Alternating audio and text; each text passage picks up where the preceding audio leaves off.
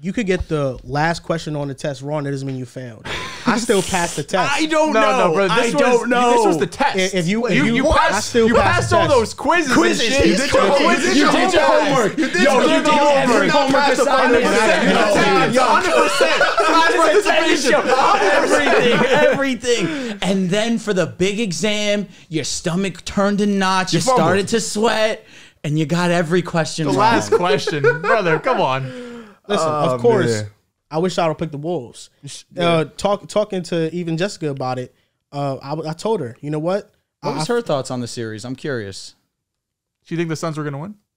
before or after? Before. Before and after. Like going in, what she think? Well, listen, she hasn't trusted the Suns all year. I know that. Uh, after the series, she's been distro- she she's been sad about it that the Suns lost, but you know, I was I've been the one to tell her like, hey, listen, you know, it's not like you didn't see this coming. Yeah. You know, she was more pessimistic about the Suns than I was. I was a person saying, hey, listen, they can get it There done. might there might be something. there might be something here. Listen, it was it was a hard decision for me. I hated that this was the first round matchup because against anybody else, I would I was picking the Wolves for sure. But um, Anybody Dallas? else? Interest. That's even a good Dallas, one. I, I picked the Wolves, and I know it's easy Even to say now. Uh, OKC, You're, you're the new guy. I the think. I think that could be a Western Conference Finals matchup. And here's the thing: we I don't have to ask the Clippers. o- We know off what he was of- doing. off of the first round, obviously I picked the Suns. Not my best moment. I wish I could take it back. I can't. It is what it is. Wolves fans I know still got love for me because I got love for them. It's, it's a mutual feeling. Mm-hmm. Number two, I think what the Wolves proved in this series is what's most important of them all. This team is the championship team. I agree. It, it's a team that can legitimately go to the finals and not only go, but they can win the NBA championship. That's how good this team is. That's how good their defense is. I agree. Their offense, the fact that it took a leap, granted, against a weaker defense, the fact that it took a leap and was much better in the playoffs is now giving you more optimism that hey, if we could play offense at a high level, we could be anybody because the the physicality this team plays with, the competitiveness, the toughness, it was magnified because of the lack thereof that the Suns had. But at the same time, this is a team that has that ferociousness. They have a player in Anthony Edwards who is a true superstar. He is. And he is one of those guys that everybody collectively has realized he is a special, rare, and unique type of player. And the pieces around him, it fits so perfectly. Karl-Anthony Towns, one of the more underrated players in the league. He's had to adapt from different roles for years in Minnesota. He gets uh, he gets Anthony Edwards as a counterpart. He does not push back once on who the guy is. He gives it to Ant Man, and what helps is that Ant Man is not arrogant. He's not arrogant about it because even with everybody collectively knowing Ant is the guy, Ant will point to every one of his teammates and say, Great It's actually him. Great guy. It's him. It's him. KAT's our best player. Rudy, if he plays like that, we won't lose Type of shit to get you goosebumps. if, honestly, if, yo. not, he's if, really like that. if Naz Reid and Alexander Walker do their jobs off the bench, nobody can beat us. He gives credit to everybody on a team in a way that young players typically do not do. He's an extrovert, he's eccentric, and he has changed Minnesota's franchise. And Timberwolves fans got to be lucky that they got a player like that. Rudy Gobert shifting the narrative from him from Utah to Minnesota. There's a lot of things to like about this Minnesota team because it's a lot of guys that have had narratives around them that have broken those stigmas.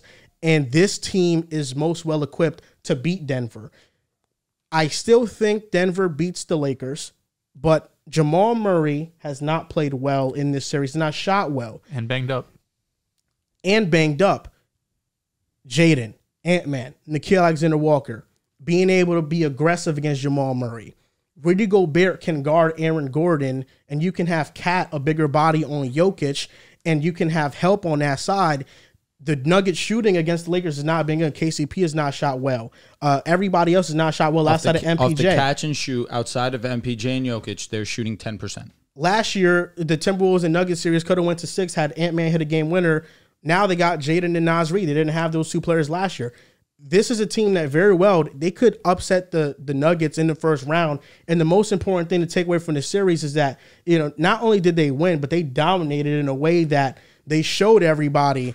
Oh wait, this team has the potential to really win a championship this year, and I think that's the most important takeaway. It's very reminiscent, I think, of the 2022 Celtics. I think you have this young team going up against, um, Well, I guess it was a big three, but mostly yes. Kevin Durant, this elite jump shooting team, KD and Kyrie, and the other side, of course, you got Bradley Beal, Booker, and Kevin Durant. Uh, a team that's predicated on defense, the best defense in both circumstances, especially when you just talk about the second half of the season for Boston in 2022. You have these young up and coming one superstar with Tatum and Anthony Edwards. There's a lot of similarities between these two teams, and I think the number one thing that's going for Minnesota, they have a lot going for them but they have this swagger and confidence. Not that it's unwarranted because they a thousand percent should feel that way, but a type of confidence that you need when you're going up against the Denver Nuggets, a type of confidence you need when you're going up against the defending champion, you're going up against the best player in the world, going up against the best duo in the league. This is the type of confidence you need to bring into a series. I'm not saying the Lakers didn't have that, but it felt like after game one, game two, when it's like, oh shit, it's the same thing again. Even though they won game four, it's like, I don't know if they have that same sort of bravado that Ant and the Timberwolves are going to be bringing to this upcoming series. And these first four games that we saw against the, the Phoenix Suns, it's a, really a 180 of what we saw in the regular season, at least offensively. They're the only team to sweep in round one. Best offensive rating in the playoffs, as we mentioned. Offensive rating of 123, by the way, which would have been number one if you look at just all the teams in the regular season. Highest points per game out of all of these teams. Second highest or second best net rating. Second highest true shooting percentage. Ant Man him and Jokic in terms of best playoff performer so far, probably Jokic number one, but Ant is number two right there with him. You have three games of 30 plus points. Shout out to AD, shout out to AD, but unfortunately down 3 1. Uh, three Yeah. games of 30 plus points from Ant. You have Karl-Anthony Towns averaging 19, over 50% from the field, over 50% from three. Everything's clicking offensively, at least for um, what we've seen so far. The only thing I'm still slightly concerned about is outside of game four, and that kind of got away at the end, we haven't really seen them in clutch moments, I think, in this series. I feel like, especially in the third quarters and early in the fourth, we've seen Minnesota kind of take away life from the Suns, especially I think that was that game two or game three game where they outscored them like 26 to 10 and it was 51 50 at halftime. And then defensively, we know how great they can be. Devin Booker was great game four, shout out to him, but games one through three, he averaged 20 a game. You're talking about six for 16, five for 16, six of 13, had six turnovers in game two as well. KD was great games one and four, but two and three, he was held to under 45% shooting in both of those games.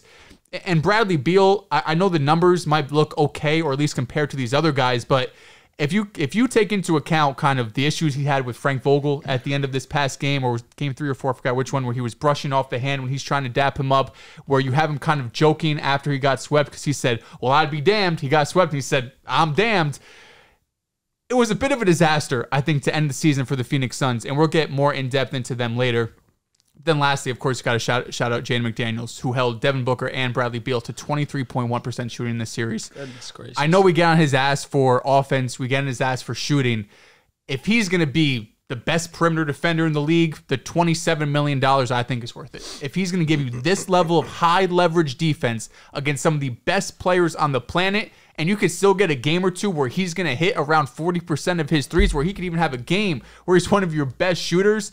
To me, that's worth the 25 plus million dollar investment as well as the upside he has because he's still, what, 23 years old or something. It shows you the So- Jaylen Brown scoring upside. yeah, lot, you know? lot to go to the Jaylen Brown upside, but the defensive upside is is far and away better than Jaylen Brown's because Jaylen Brown's a great defender his own right. Jaden McDaniels is best in the league type of defense. But I mean, this is if you're the Timberwolves, and I tweeted this out.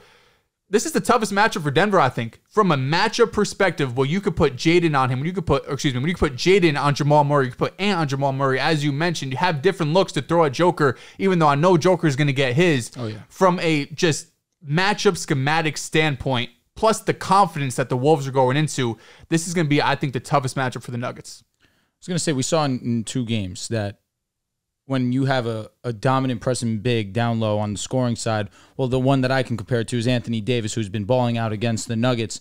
He went in the two games that he played against Minnesota this season. He's averaging over 30. Nikola Jokic, obviously the best player in basketball. You can argue has been the best player in these playoffs still.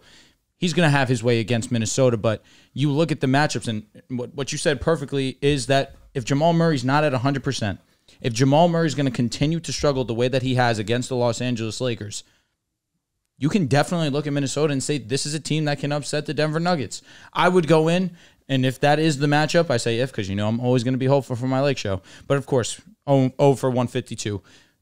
I would still take the Nuggets off what they've shown me just in the regular season, in this postseason. Of course, last year's run. But the fact that Jamal Murray has been playing as shaky as he has, but MPJ has upped his level of play once again.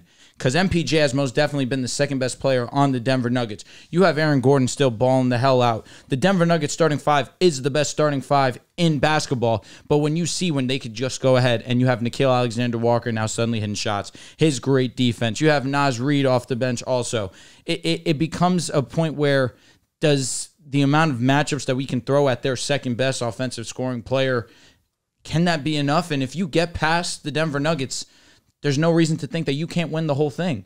Because if you can get out the West, hell, you can win the whole thing, no doubt about it. But in this matchup, I mean, I think we saw a lot Riv, you've been very vocal about this. Rudy Gobert and how versatile and how impactful he is for Minnesota's defense. We've seen it all season long, obviously, as he is going to win Defensive Player of the Year. The Minnesota Timberwolves were the number one defense in basketball.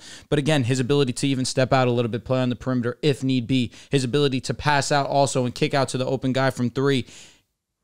Everything about this defense hit at 100% against the Phoenix Suns. And game four, obviously, back against the wall. You're going to see D Book. You're going to see Kevin Durant at their best. And they still took their best punch on the road and was still able to close out. Shows you how special Anthony Edwards is with the 40 ball of his own, an efficient 40 ball. KAT having the mind, and, and you see the, the, the chemistry between the two of them in the presser after, where Ant's telling it how it is. You stay out of foul trouble, we win this game. There's no answer for you. There was never an answer for Karl-Anthony Towns. That was the truth. And when you saw that that he was able to stay on the court, he obviously dominated in that fashion. It's going to be a great series versus Denver if that is the matchup. But again, with the way that Murray's playing, you can 100% make the case Minnesota can go to the NBA Finals. You know, I was reading this question and it um, gave me a lot of thought. Definitely gave me a lot of thought because as I was talking to the Dell's a couple days ago, same way I feel about the Clippers in Dallas is how I feel about Phoenix. You know, I don't think I, I, I never thought Phoenix was that good. I agree. You know, I always thought they were just this team with a lot of star power, but the issues were really glaring, and there was just no way they'll be able to flip that switch at any point. You know, and I think there's a big difference between elite defenses in the regular season and a playoff defense. I think Minnesota is that like they're a playoff defense. They have multiple guys that can defend, long, lengthy, good wingspan. They have a, a, a, anchor down low. They have guys that are connected. They switch one through five. They can guard one through five. You know, so I think this is a playoff defense.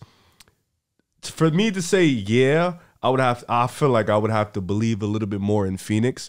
I don't believe in Phoenix at all, so I don't think this was the test that kind of puts them there. I think the test is coming up. It will be Denver in the second round.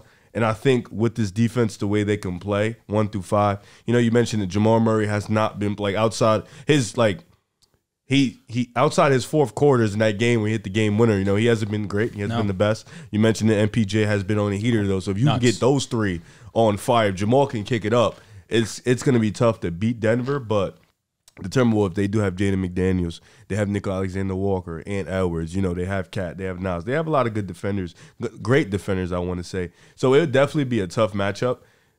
For me, it's offensively, how would they be able to keep up? Because we mentioned it, they were pretty great against Phoenix, but I think Phoenix defensively is just not all there. Like Kevin Durant is a great defender individually, but I don't think he's a he's a riser in that department for a defense like this. You know, even in Golden State it was Draymond and then him. So I think with Phoenix, it kind of gives you not an illusion. I don't want to be disrespectful, but it kind of gives you like a like that feeling like all right they, they were great offensively but it was against phoenix denver provides a little bit of a different challenge but i think this series coming up i think this is the real test because i think going up against the defending champions going up against the best player in the world going up against an offense that's a little bit more difficult offense that's a little bit more pace and space you know they move the ball well they can run you in multiple pick and rolls they have a counter for everything you can do i think that kind of stretches your defense and that makes it a lot harder to figure out rotations, figure out who's guarding who. So I think this right here, like I think Phoenix was the perfect defensive matchup for where they can just sit. You got Rudy Gobert, he was great in switches. You know, you have guys coming off the bench that can lock in. I think this one right here would really prove it because, you know, realistically, if they come out of this series, you can beat anybody. But for me, like I'm a I'm a stamping early, early. I think OKC and Minnesota will see each other in the WCF. It will be the battle of the young teams. I think SGA versus Ant Man is going to be a, one of them battles, you know. And I think both of these teams are going to go there. I think that's a great pick. Um, So that, you- that's a pick. That's a pick. You're riding with Minnesota. Yeah, yeah. You know, I can put the I don't like them, but I can put the bias aside.